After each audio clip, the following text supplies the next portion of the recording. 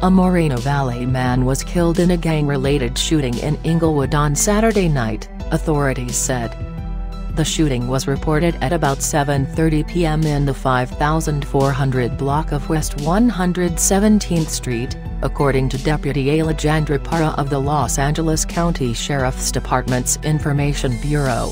The man was pronounced dead at the scene Parra said. He later was identified as Dennis Ashley of Moreno Valley. No suspect information was available, but the incident appeared to be gang-related, Last said in a statement.